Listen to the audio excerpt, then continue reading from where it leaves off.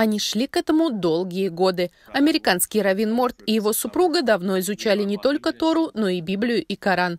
Многодетный отец пытался найти ответы на волнующие его вопросы.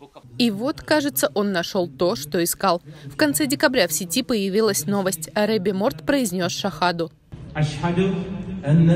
أن لا إله لا إله إلا الله إلا الله وأشهد وأشهد أن أن محمدا محمدا رسول الله رسول الله произнесла заветные слова и супруга.